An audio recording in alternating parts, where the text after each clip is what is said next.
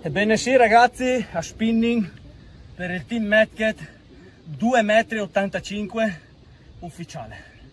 Ragazzi, Guinness World Record. Mai me la sarei aspettata una cattura del genere, in solitaria. Ora rilascio questo bellissimo pesce.